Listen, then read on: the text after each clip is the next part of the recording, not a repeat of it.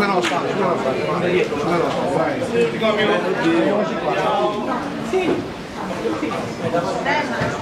Ragazzi, per favore, sì, Fabio. Tu facciamo dei controlli. Ci sono, così va bene. Oh, più, Fabio. Prova, ragazzi, più un attimo, Sì, sì, per un attimo, per fare anche i colleghi dietro. Sassa prova. Oh, Dino.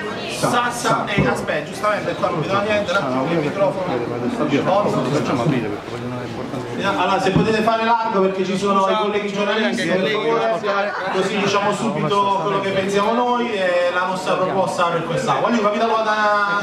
Ci allarghiamo un po' su un po' a sinistra, un po' a destra, vogliono la visuale? Un po' più a sinistra, per favore. Per la visuale per i giornalisti. Allora,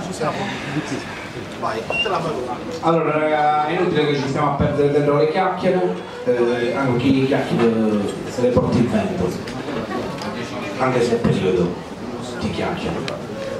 È inutile perdere anche il tempo dietro a queste battute inutili.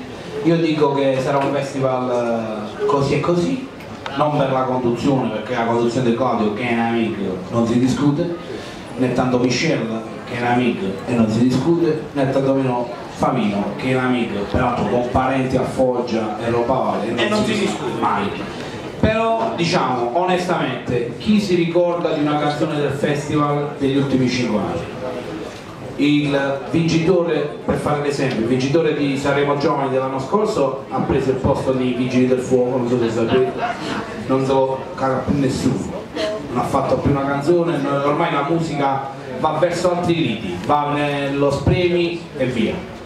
E noi ci siamo accavallati su questo, per me accavallati collega, accavallati su questo diciamo trend e abbiamo deciso di investire sulla musica anche noi, facendo i produttori di un gruppo di Foggia che abbiamo portato qui a Sanremo. Non abbiamo fatto a tempo a presentare la canzone a Claudio, che ricorda in amico, ma questo pezzo io credo, Anche Michelle è una vita. anche questo, Pure Francesco l'ho detto prima, e anche credo, credo che questo pezzo diventerà il vero must di questo Sanremo. E io in anteprima, qui nella sala stampa del Palafiori, che è sacra, vorrei farvelo ascoltare e vorrei far giudicare ai critici musicali che sono in sala, a tutti i giornalisti competenti che sono in sala, ma anche a quelli incompetenti, perché comunque a Sanremo è pieno di gente incompetente, io ho visto, visto gente... A proposito, eh, ho visto anche, se volete scrivere la notizia, Renderoni è vivo, se volete, magari la gente pensa che ormai ci siamo accorti salendo, abbiamo visto che è ancora vivo, magari la gente lo faceva Solo che posso dire che ha fatto un po' una fine di merda perché sta con la roulotte. Volevo dire, Invece lo ricordiamo che veniva con la Ferrari. Vabbè, queste sono altre cose. Ma non è di questo che vogliamo parlare, E Drone è un amico, eh. Come mi cerco. E qui musicomio, anzi volete scrivere già sopra i computer,